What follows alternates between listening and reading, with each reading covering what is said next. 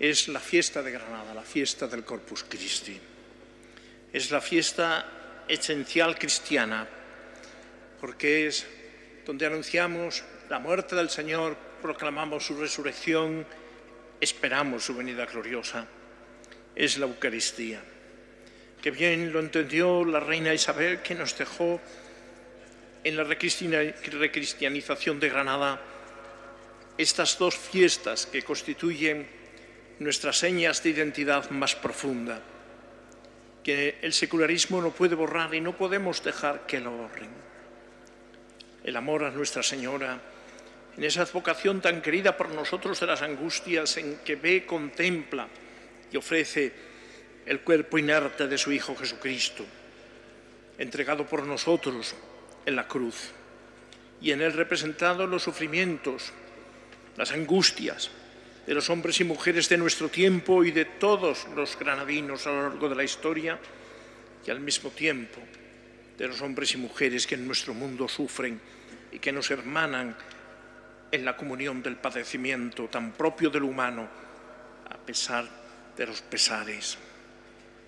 Queridos hermanos, esta es la otra gran fiesta, la fiesta de la redención la fiesta de la alianza de Dios con su pueblo. No hay pueblo sin alianza, no hay pueblo sin concordia, no hay pueblo sin esa unión y ese fundamento que da sentido a su convivencia común. Nosotros lo tenemos puesto en Cristo. Él es la vocación suprema del hombre. Es lo que ha entendido nuestra historia empapada de la civilización cristiana.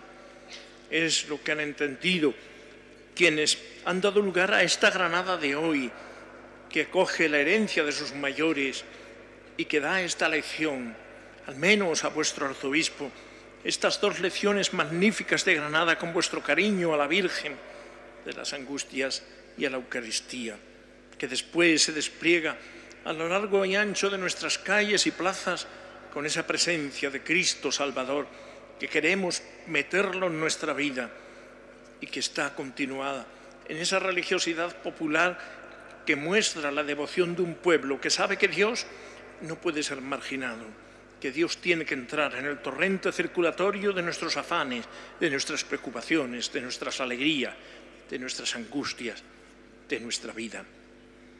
La Eucaristía es la renovación incruenta del sacrificio redentor de Cristo en la cruz. Y es al mismo tiempo, queridos hermanos, el anticipo de la vida eterna el que come mi carne y bebe mi sangre tiene vida eterna, nos dice Jesús en el Evangelio de San Juan, y yo lo resucitaré en el último día. Qué bien habéis sabido elegir la devoción, la principal fiesta.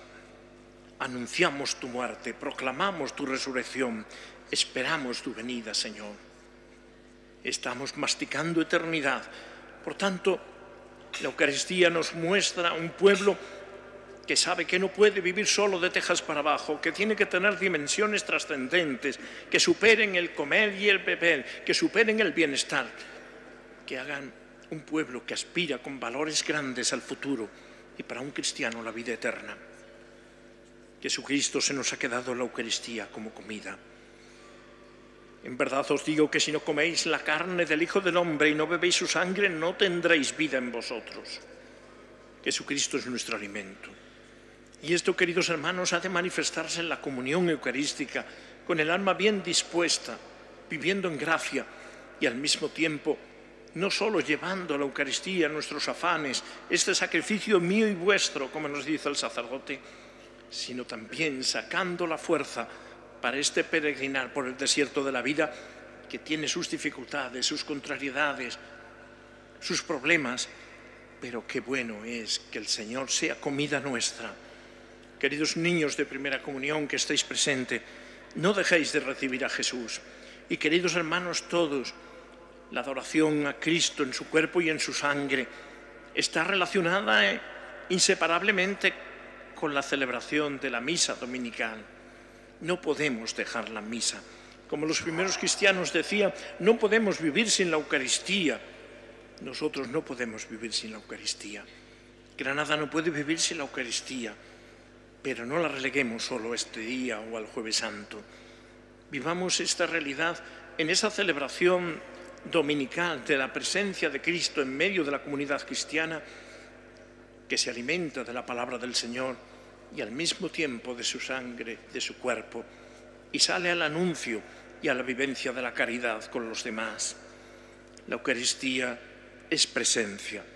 Y es lo que hoy celebramos especialmente. Dios con nosotros, el Emmanuel, el que come mi carne y bebe mi sangre, habita en mí y yo en él. Tenemos la suerte, la gran gracia de que Cristo está presente en medio de nosotros en la Eucaristía. Hoy, de forma solemne, le vamos a rendir el agradecimiento, el tributo de nuestro cariño, cuando vaya por nuestras calles con devoción, con nuestros cantos, con el, ornato de nuestros balcones y de nuestras calles. Pero, queridos hermanos, Cristo sobre todo quiere estar. Cristo sobre todo quiere estar en el corazón de cada uno de nosotros, en nuestra vida, en nuestra conducta, en nuestras palabras. Cristo quiere estar con nosotros. Queridos hermanos, adoremos a Cristo presente en la Eucaristía. Vivamos esa fe de nuestros mayores con un sentido religioso profundo, con ese respeto con el que yo he comprobado que al ir Cristo Eucarístico por nuestras calles manifestáis vuestro cariño, vuestro respeto. Qué gran lección dais los granadinos con esto. Incluso los que no creen Incluso los que están al margen, cuando ven pasar nuestra custodia y ven la devoción de los granadinos, muestran su respeto. Sigamos así, queridos hermanos. Visitemos a Cristo en nuestros agrarios, en nuestras iglesias. Y queridos hermanos sacerdotes, no cerréis los templos. Los templos no son caja fuerte. No lo habláis solo para la Eucaristía o para las celebraciones. El Papa nos está pidiendo iglesias abiertas, donde puedan los fieles ir a rezar. No tengáis miedo de nuestras joyas, de nuestro arte. El Señor nos ayudará. Tenemos cuerpos y fuerzas de seguridad magníficos. Abrid nuestros templos. No hagamos de nuestros templos museos. Es donde está la presencia de Cristo en medio de nosotros, donde podemos ir a contarle nuestras preocupaciones, nuestras alegrías, nuestros agobios y Granada está cuajada de templos magníficos, que son también la elección, la elección de hombres y mujeres que con el arte nos han expresado la fe de nuestro pueblo. Ello nos lleva a esa devoción profunda, a esa devoción seria que caracteriza al cariño y la religiosidad de Granada. Abrir nuestros templos en los pueblos y ciudades, que nuestros agrarios revitalicen con la presencia de Cristo y con la adoración. Y quiero dar las gracias a la adoración nocturna, a quienes aquí también en la capilla, en la iglesia del Sagrario, con esa adoración perpetua, también en la iglesia de las religiosas, de las novias que llamáis, o en la iglesia de San Antón, en tantos lugares van a visitar los granadinos a Jesús en la Eucaristía. Queridos hermanos, vivamos también la otra consecuencia de la Eucaristía, que es la caridad. La, caridad es inseparable de la Eucaristía. Cristo así nos ha dicho que autentificamos el culto con el amor fraterno, que es el distintivo de los cristianos. La comunión con Dios, que exige interioridad, que exige vida espiritual, no puede dejar fuera a los excluidos, a los pobres, a los necesitados, rompamos las brechas, abramos nuestros brazos en ese, en y podéis ir en paz de la celebración eucarística que nos lleve a transformar el mundo con el amor de Cristo que nos ha amado hasta el extremo. Vivamos esa caridad hecha servicio a los otros. Es nuestro distintivo, ayudemos a Caritas. Es el día de la caridad, el día del Corpus a tantos y tantos voluntarios, a tantos proyectos, a tantas realidades de ayuda a los más pobres. No puede haber iglesia sin caridad, no puede haber iglesia sin ese servicio fraterno, organizado, pero que nace de esa caridad que se extiende en la familia, que empieza por los más cercanos, que empieza por el perdón, por la comprensión, por la compañía, que empieza como un testimonio de que creemos en Dios. Quien dice que ama a su hermano, que, no, que, ama a Dios y no ama a su hermano es un mentiroso, nos dice San Juan. ¿Cómo va a amar a Dios a quien no ve si no ama a su hermano a quien ve? En esto conocemos el amor de Dios, en que amamos a los hermanos. Por tanto, la caridad forma parte inseparable del misterio eucarístico.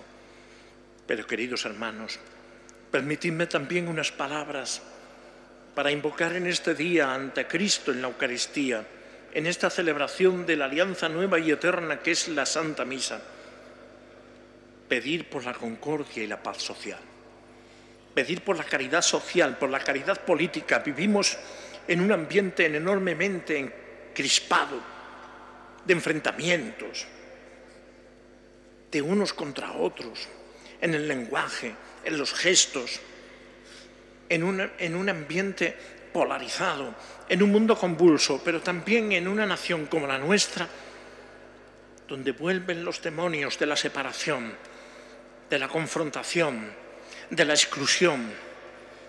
¿Por qué no damos ese paso?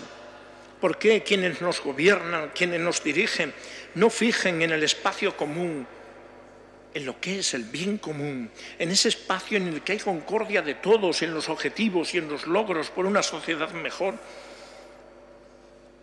¿Por qué fijarnos solo en las diferencias? ¿Por qué buscar siempre elementos de confrontación? No estamos para eso. Nuestros jóvenes no se merecen eso. Nuestros mayores que han labrado esta sociedad en libertad, en paz, en justicia, no se merecen eso. No pongamos convulsa la sociedad que tenemos entre manos y de la que somos protagonistas. Queridos hermanos, el día del Corpus Christi tiene que ser una invitación a la caridad, a la concordia social y política, a que entre todos, independientemente de nuestro pensamiento, de nuestras creencias, busquemos el bien común, lo que nos une a todos, no lo que nos separa, lo que nos hace tener lo sustantivo de humanidad, de ciudadanía, de granadinos. Busquemos eso y redundará en beneficio de todos. No busquemos lo que nos separa. No vayamos simplemente a una conquista del poder en alternancias, sino a buscar el bien de los destinatarios, que son los ciudadanos, que es el pueblo, y sobre todo los que se quedan atrás, que no pueden quedarse atrás en una sociedad justa y libre. Por tanto, como estaba el pan disperso por las tierras de labor, así es uno en esta ofrenda, haznos uno en ti, Señor. Dice el viejo himno eucarístico, ojalá nosotros, distintos, dispersos, cada uno de su padre y de su madre, de sus ideas, por las tierras de labor, haznos uno en ti, Señor, en la Eucaristía, y que vivamos la unidad en nuestra tierra, en nuestra nación, en nuestra región, en nuestra ciudad. Y veréis cómo esto redunda en bien de todos. No tiremos cada uno de lo suyo en nuestra Granada, sino conjuntemos todos en una Granada cada vez más justa, cada vez más próspera. Queridos hermanos, pensemos especialmente en quienes más lo necesitan. Que la Virgen de las Angustias, que mira a Cristo, nos mire también a cada uno de nosotros. Que la que habita en la carrera, también habite en nuestros corazones, así sea.